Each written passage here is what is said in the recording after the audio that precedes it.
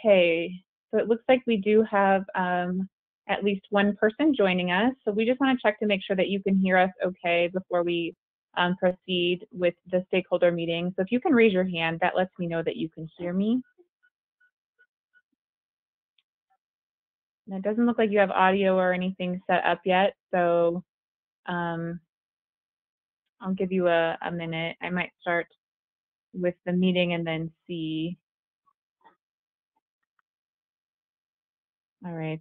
Um, the time is 1.33 p.m. and it is February 12th of 2021.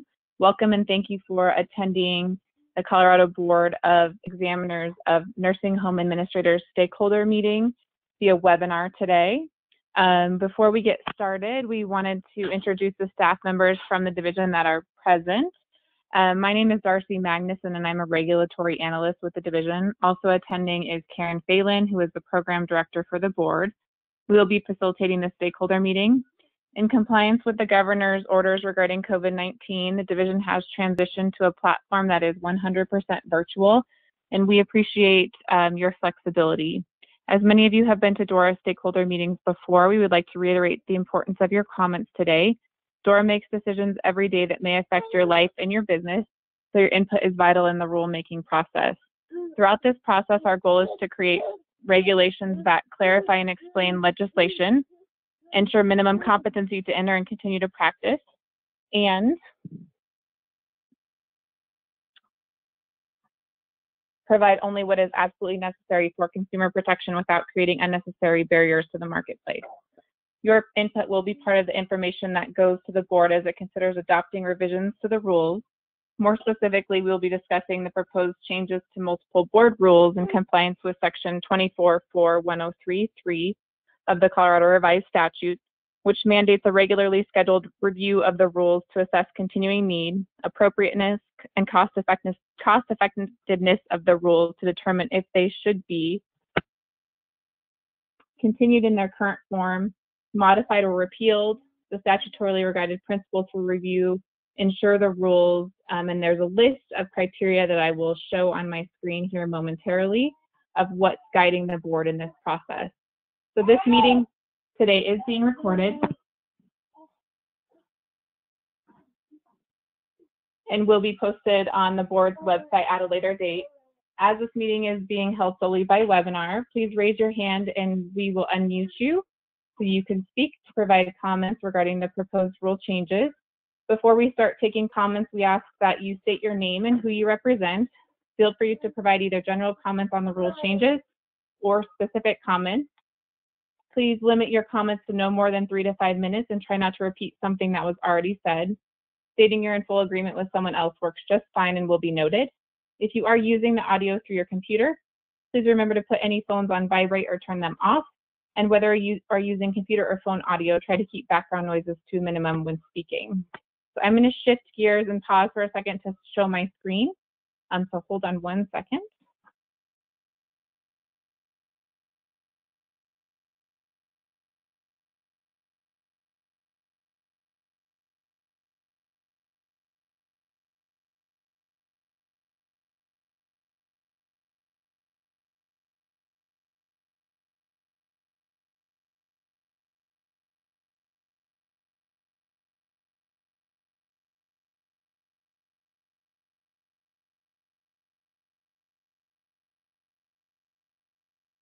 Okay, so what you're seeing now um, is the statutory criteria that will be guiding the board.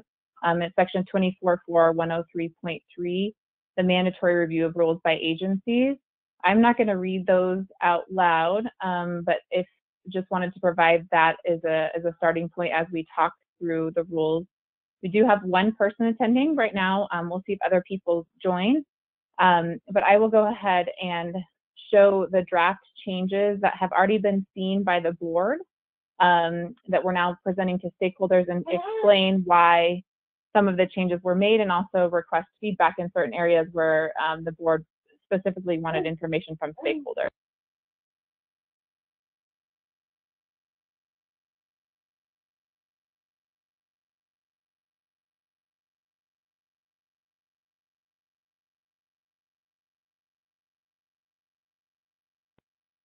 So the rules are showing on the screen, um, just to walk through the changes so that um, stakeholders know in case folks listen to this after the fact. What you're seeing here, these new rules are in compliance with the Secretary of State styling manual, the authority, the scope and purpose, the applicability, just to make our rules consistent with the Secretary of State styling manual and also consistent with um, board rules, board and program rules throughout the division. Um, here you can see where anytime there was a deletion made, a note was made as to why the suggested deletion was made.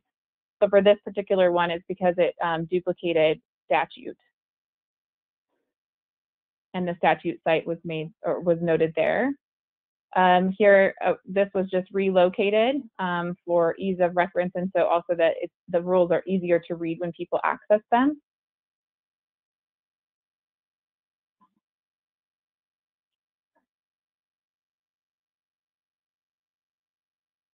Again, this is exactly what I was talking about. So we added language to put the statutory authority at the beginning of every single rule and also took out um, sections that were um, duplicates of statute.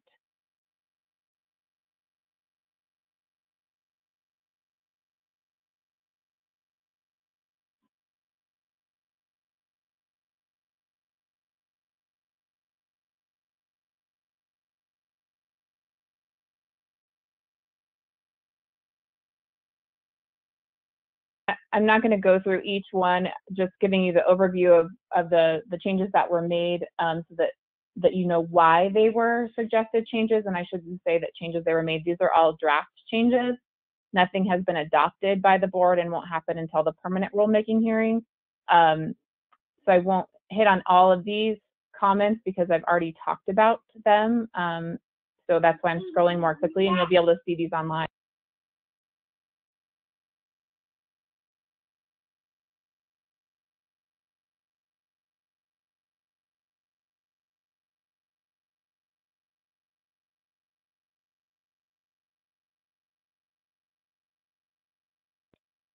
Going to stop here. Um, this is a specific area of feedback that the board requested regarding the HSE.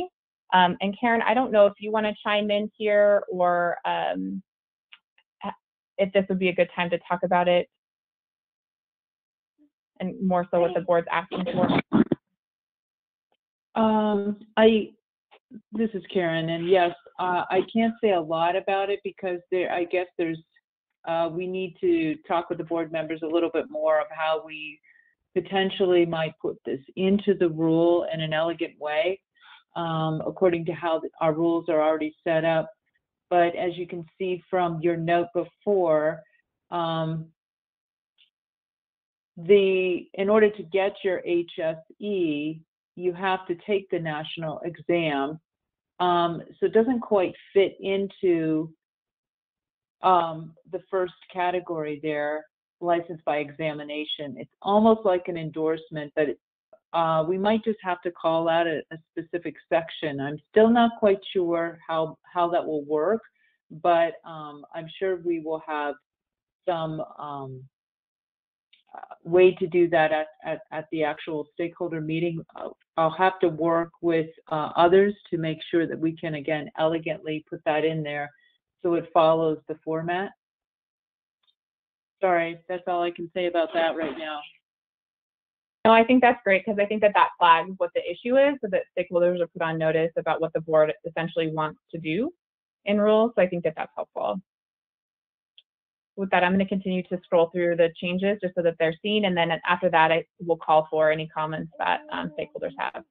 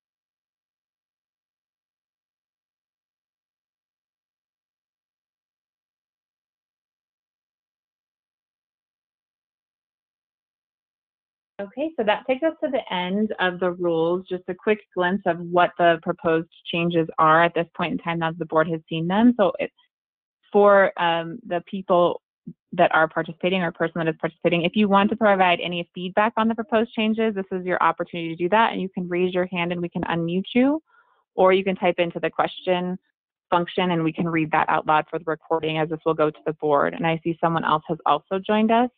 So what we're doing now is taking stakeholder input regarding the proposed changes.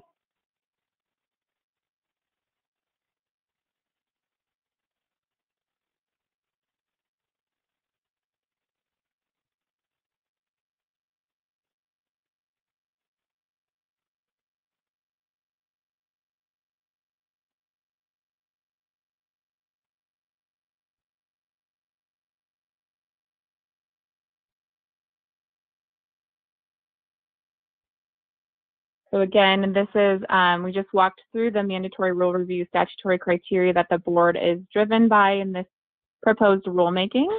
Um, and now we're just waiting for, if anyone wants to provide any feedback, I'll go ahead and pause for a couple minutes and jump back uh, at 147 in case anyone is typing anything. Um, and if you want to provide written comments, you can always do that as well to the email that was provided on the notice for today's meeting.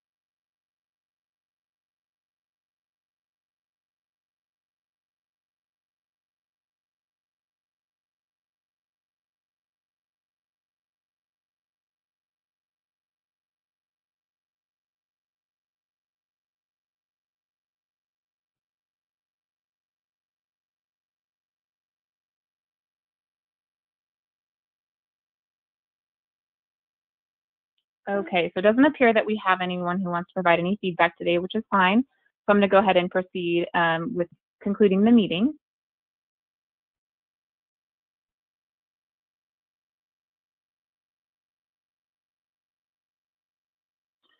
Um, thank you very much for participating in today's meeting.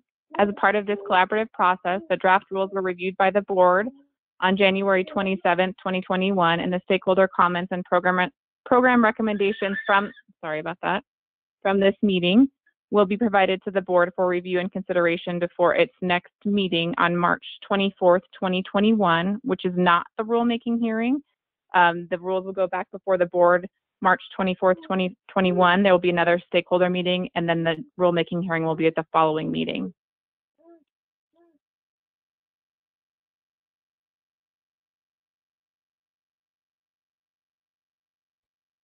So that concludes our stakeholder meeting, and I'm going to go ahead and disconnect the webinar now. Thank you.